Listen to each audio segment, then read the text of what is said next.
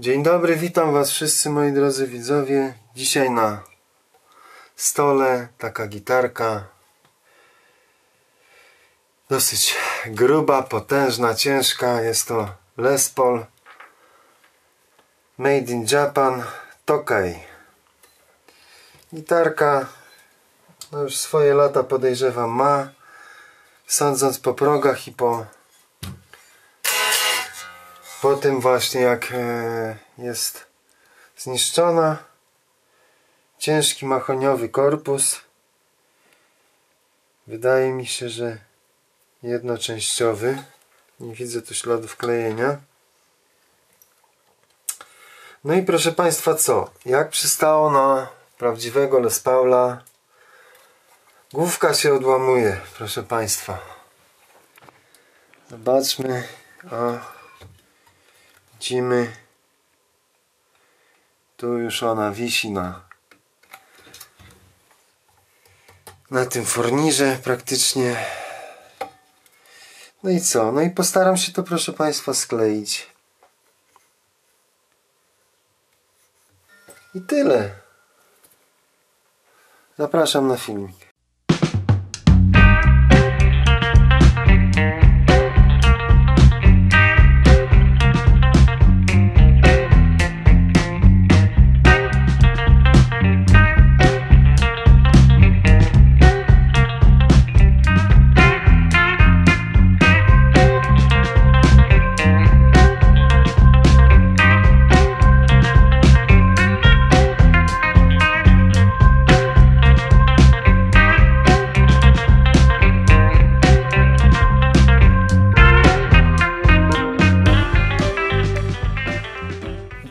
frezował tutaj na, na wzmocnienia, które będę wstawiał.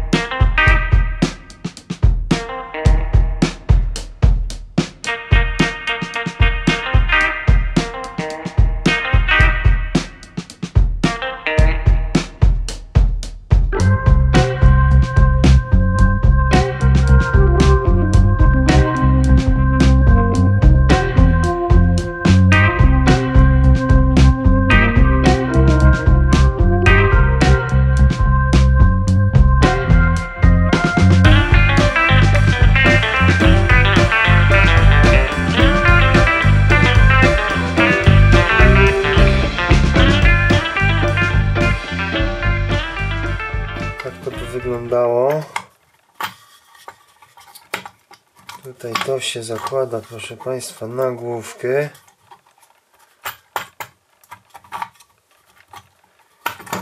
Tak, o. Tutaj będą, proszę Państwa, motylki. Jeszcze jedną rzecz muszę przerobić, mianowicie mianowicie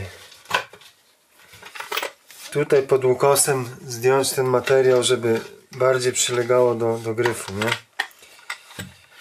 No i będzie można to wypróbować w boju. Proste takie coś. Zobaczymy jak to da radę. Widzę, że strasznie krzywo powierciłem śruby. Trzeba będzie poprawić. Zobaczcie z ręki jak się wierci. Się wydaje, że prosto, a niestety nie chciało się. O, matku, szok.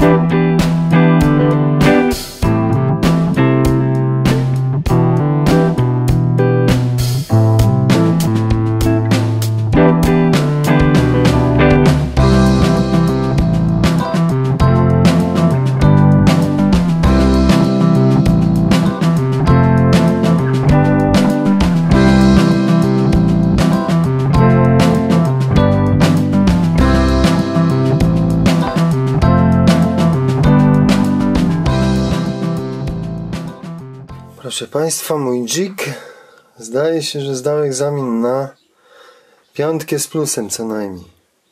Takie są cięcia. Widzimy precyzyjne, piękne, dokładne. Widzimy machoń. Tutaj wstawię, już przygotowałem takie wstaweczki. Dwie z jednorodnego drewna. O, będę wsadzał, bo ta wchodzi bardziej na ścisk, ciężko wyjąć. Proszę Państwa, i się będzie kleić do jutra co najmniej.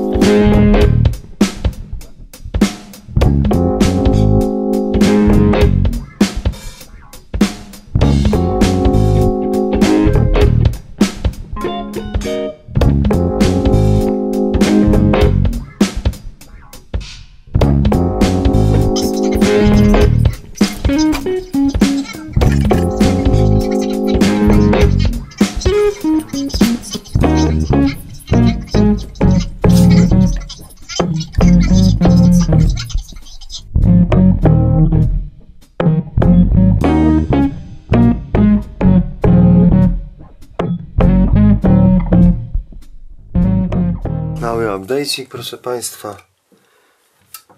Tutaj e, widzimy. Wyfrezowałem kanały tak, że aż przefrezowałem się tutaj do tej komory nakrętki pręta napinającego. I dobrze to wyszło, bo ta komora jest dosyć duża. I stwierdziłem, że nie będę tutaj, wiecie, e, podcinał tych moich wzmocnień, niech to sobie tam będzie troszkę wystaje, natomiast e, z dwojga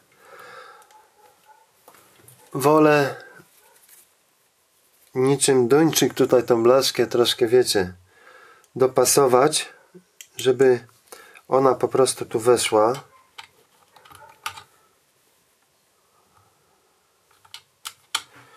Już tutaj nie tak chyba będzie lepiej to będzie po prostu z korzyścią dla dla tego miejsca.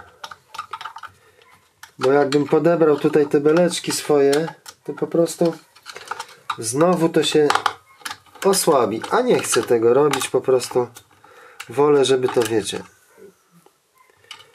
żeby to było mocniejsze wiadomo nie?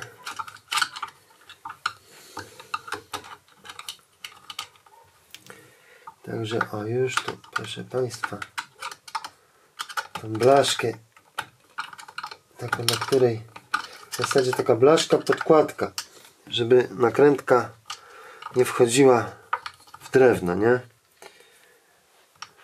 O, już nakręcamy, proszę Państwa, nakręteczkę. Ja tutaj troszkę przesmarowałem wazeliną.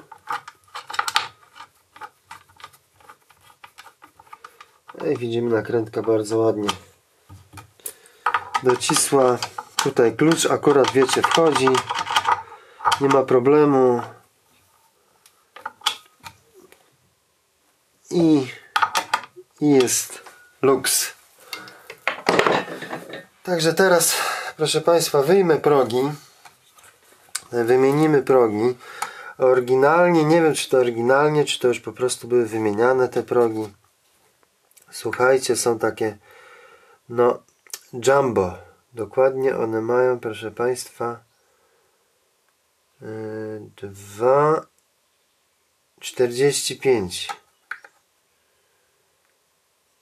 Ale ja uważam, że do takiej gitary vintage'owej takie progi nie pasują i dam troszkę mniejsze dwójeczki.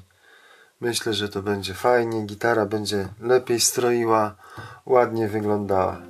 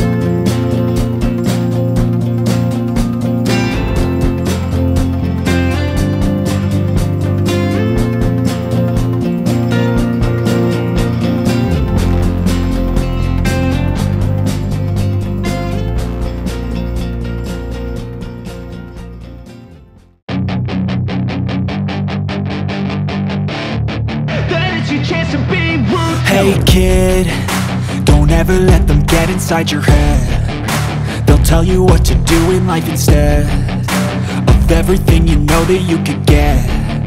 Don't let them guide your life towards regret. I'll fight for what I love with every breath. My past is filled with things I won't forget. I use them all to push me to my best. So treat the worst of times just like a test if only I could go back in time. I'd tell myself that everything will end up alright. Just push yourself, test yourself, figure out what you like And find your limits, don't be rigid, always work towards a prime. Surround yourself with open minds, people can change your life. A few friends with intent can help you feel alive. Find a passion, take some action, and with a little time Just be patient, make a statement, try to enjoy your life. They'll try to kick you while you're down they wanna rise up while you drown. They wanna fill your head with doubt. They're silently scared that you'll figure it out. I'll make it look like I'm losing. Won't bother hiding my bruises.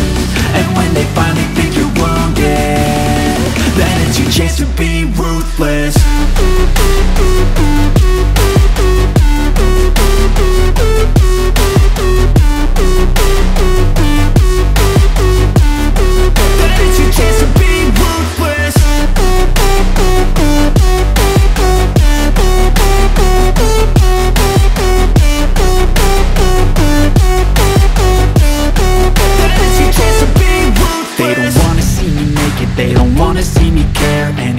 I make some progress, I can see that they compare. I think everyone's against me, maybe something in the air. Am I paranoid? I swear a void is forming and they're scared I walk a straight path, not many can say that. I like to play fast, cross me and there's payback. You better pray that I don't see your face at Any place that I go, I know you hate that. I've been doing fine.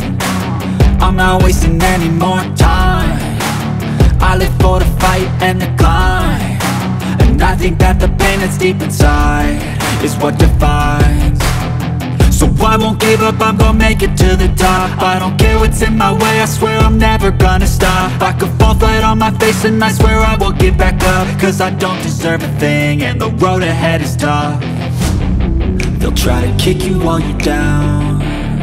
They wanna rise up while you drown fill your head with doubt. They're silently scared that you'll figure it out. I'll make it look like I'm losing. Won't bother hiding my bruises. And when they finally think you're wounded Then it's your chance to be ruthless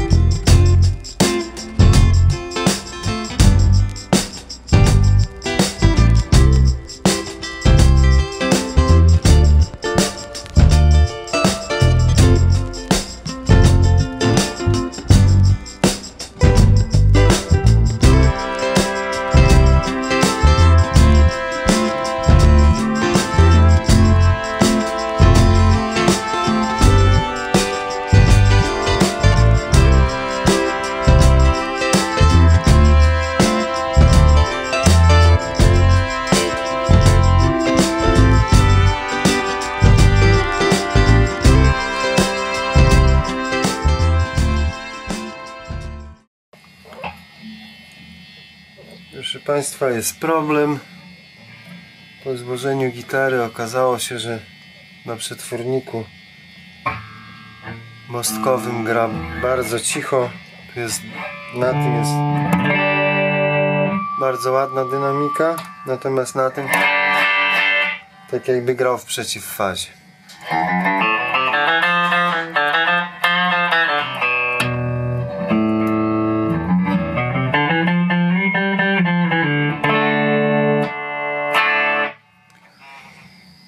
Teraz nie wiadomo co, proszę Państwa.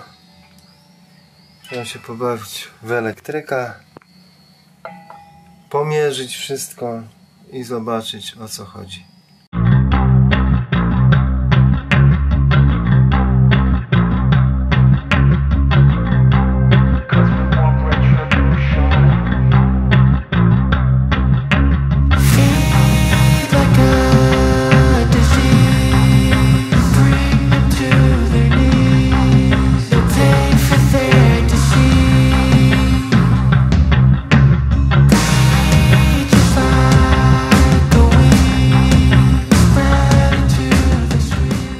Proszę Państwa, niestety okazało się, że nie odpalimy gitarki, ponieważ przetwornik mostkowy jest uszkodzony. Proszę Państwa, tutaj nie widzicie, ja go w tej chwili podłączyłem podmiernik. Może tak tutaj zobaczcie. O, sobie Tutaj będzie widać. Przetwornik podłączamy, podmiernik. Niestety nic nie pokazuje. Widzimy, żeby nie było, że miernik jest uszkodzony. Biorę przetwornik. Jakiś defilowski, proszę bardzo. Pokazuje 6,62. Biorę tego. Nic nie pokazuje. Proszę Państwa, także przetwornik leci do naprawy i jak wróci z naprawy będziemy kontynuować temat. Minęły 3 sekundy, przetwornik wrócił z naprawy, a tak na serio minął równo tydzień, poniedziałek zeszły go wysłałem, dzisiaj go odebrałem.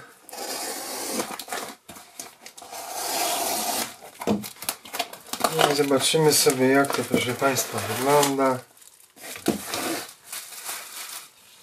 Podobno uszkodzona była jedna cewka, która została przewinięta i zawoskowana. Cewki są podłączone szeregowo. Tak wygląda ten przetworniczek, proszę Państwa.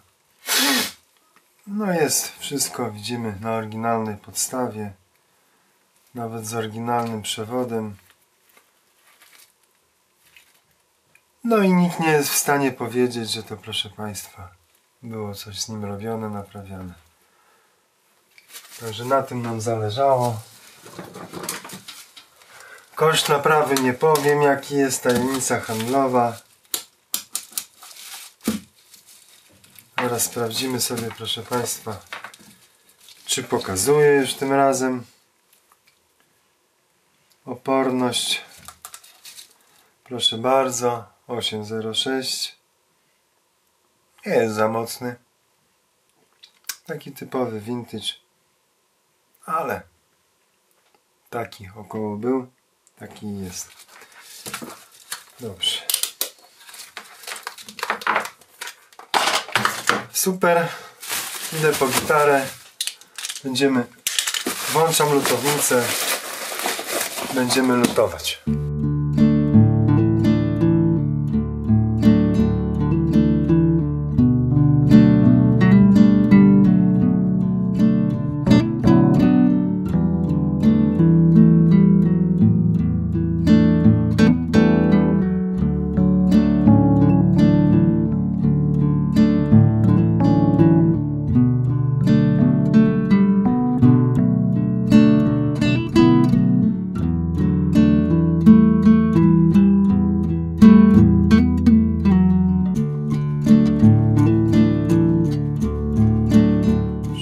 Jeszcze wymienimy przewód siłowy do gniazda jack, bo tutaj coś się urwało, odlutowało.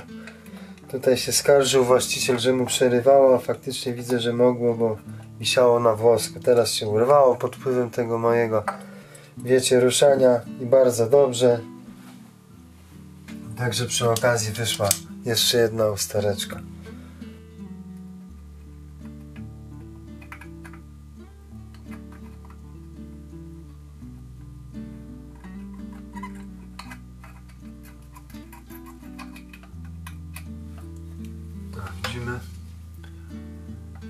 Się tu ten oplet się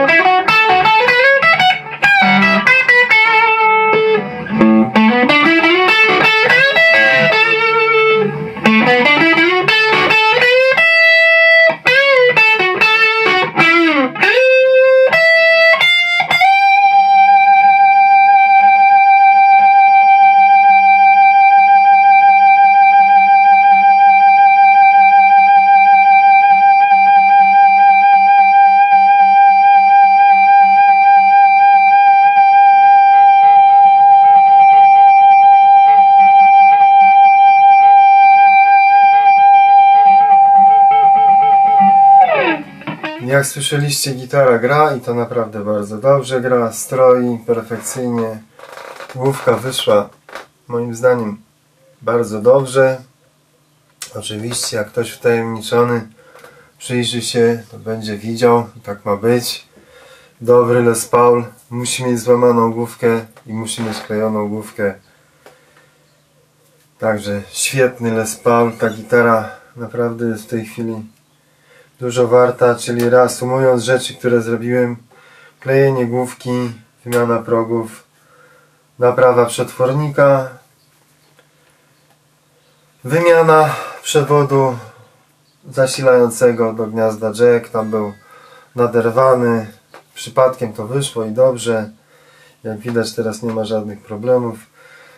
Powiem Wam gitarka z małą historią, była własnością gitarzysty, który grał w zespole Kasa Chorych.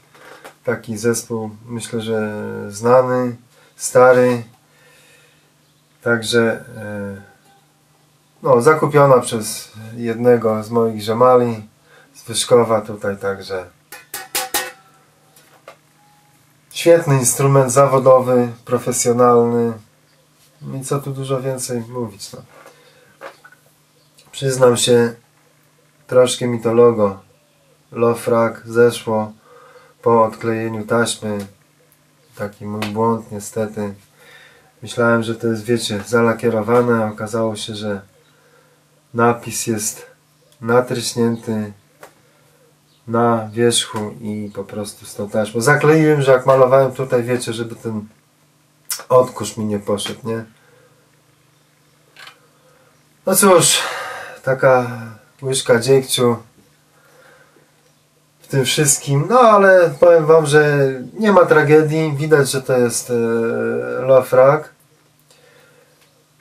Komponuje się pięknie w ogólny stan tej gitary, taki lekko, chociaż ona jest no, w stanie perfekcyjnym, można powiedzieć, jak na swój wiek ale no mówię, tu są jakieś tam małe powiedzmy mikroskopijne ryski i to się powiedzmy jak gdyby, no tu jest obtarte, ja tego broń Boże nie, nic z tym nie robiłem, nie lakierowałem, także ogólnie ta główeczka tak się nie wygląda źle, aczkolwiek powiem Wam szczerze, że wolałbym, żeby ten napis nie zszedł. Jest to do zrobienia, są dostępne kalkomanie, można by to tą kalkomanię nanieść, zalakierować i by wyglądało, ale Zostawiam to po prostu właścicielowi. Przyznaję się, nie będę tutaj, słuchajcie, udawał jarząbka, że nic się nie stało i tego, no. Jeśli będzie chciał, po prostu mu to zrobię. Jeśli stwierdzi, że jest ok, że nie przeszkadza mu to, zostawiamy. Mówię, no gitara 3 lata leżała, nie grana, także nie grana, no między innymi z tego powodu, że no nie grała, nie? Była pożyczona. Nie wiadomo, czy ta pęknięta główka już wróciła, wiecie, po tym pożyczeniu, czy pękła e, na skutek stania trzyletniego. Z rzeczy, które jeszcze można by zrobić, można by dać siodełko na kość. Wtedy by to pięknie się komponowało z tym białym bindingiem, ale to jest taki no, twardy materiał, jakiś powiedzmy grabtek. Nie będę tego ruszał na razie zostawimy to do do dyspozycji po prostu i do decyzji właściciela, także ja na tym kończę. Dziękuję jeszcze raz za uwagę, trzymajcie się, pozdrawiam Was serdecznie.